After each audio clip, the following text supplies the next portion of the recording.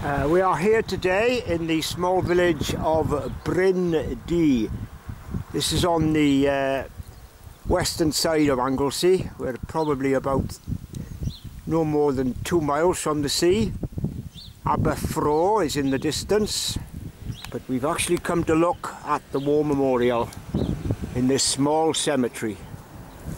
If we pan around, you can see the gravestones and just below us the uh, church or chapel. So the Anglesey countryside is there and here is the memorial.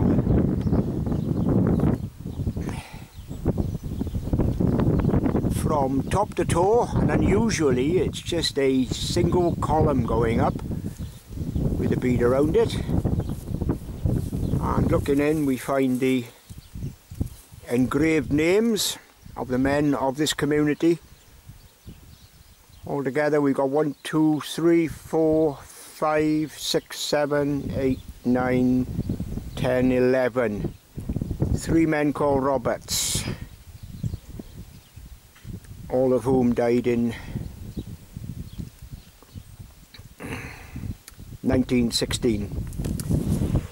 So the memorial itself bears the mark of the neighbouring one at Bryngwran where the soldiers are listed along with their homes, um, their regiments, the date and country of their death. We have a Suvla Bay on here which was Gallipoli and also the ages when they died. So this is the second time I've seen this particular feature and the Bryngwran where the other one exists is no more than four miles away an inscription on the back from the preacher at the time, the Pach uh, William Morris.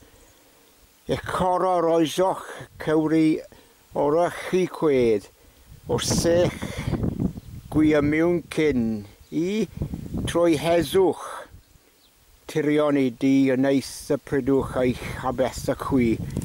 The word heswch, the cwy word of all, which of course is the Welsh word, the cry for peace. So as we rise up, you can look over the countryside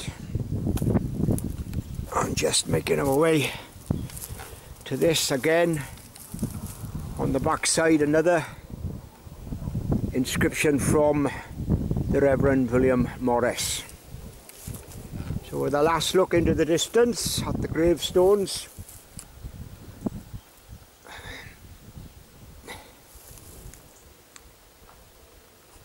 nearly all of which carry the uh, home addresses or home location of the person commemorated in the grave including the one or two here that are written in English.